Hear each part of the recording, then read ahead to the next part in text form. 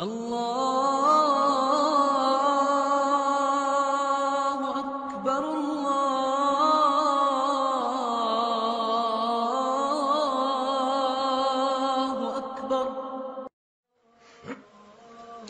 بات ہے کہ زندگی کی جتنی سہولیات آج ہمیں حاصل ہیں اس سائنسی دور میں اس سے پہلے کبھی حاصل نہیں تھی۔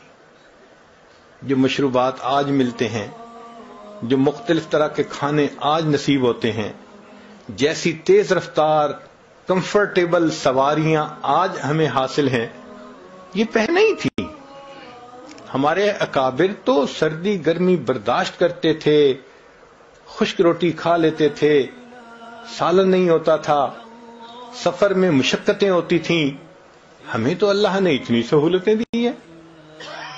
لیکن عجیب بات کہ ان تمام سہولیات کے باوجود جتنی اللہ تعالی کی شکایتیں آج ہیں، اس سے پہلے نہیں تھی۔ جس کے دیکھو، اس کی زبان پہ شکوا بیٹے کو نوکری نہیں ملی، بیٹی کا رشتہ نہیں آیا، فلاں کام ایسے نہیں ہوا۔ بھئی، اللہ تعالیٰ کے شکوے ہم کیوں کرتے ہیں؟ ہم الزام ان کو دیتے تھے۔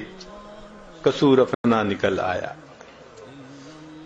اللہ تعالیٰ ارشاد فرماتے ہیں، ما اصابکم من مصیبت فبما کسبت ایدیکم جو مصیبت تمہیں پہنچتی ہے، تمہارے ہاتھوں کی کمائی ہوتی ہے۔ تو اپنے گناہوں کا وبال ہوتا ہے اور شکوے اللہ کے۔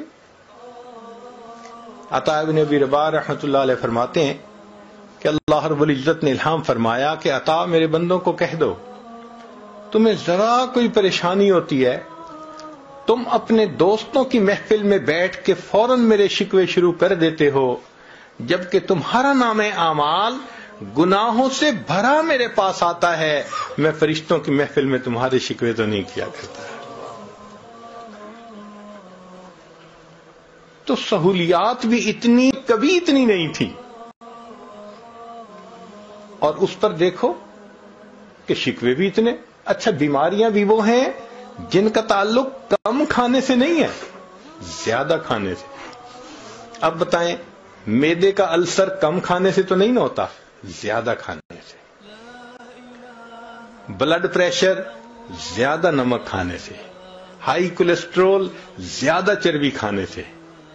تو بیماریاں بھی شوگر زیادہ میٹھا کھانے سے۔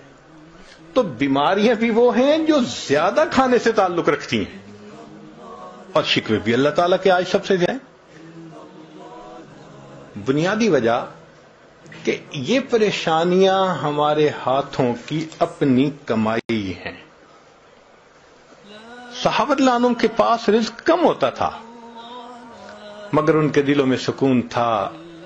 زندگیوں کے اندر عبادت تھی، اللہ کی نعمتوں کا شکر تھا۔ آج رزق ہے، برکت نہیں ہے۔ جس کے دیکھو فکر لگی ہوتی ہے۔ اور ہماری زندگی ایسی ہے، جو سارا مہینہ کماتے ہیں، اینڈ کے اوپر وہ بلوں میں چلا جاتا ہے۔ یہ بجلی کا بل، یہ پانی کا بل، یہ انشورنس کا بل، یہ فلاں چیز کا بل، وہ بل کو دیکھ کے دل کو کچھ ہونے لگ جاتا ہے۔ لا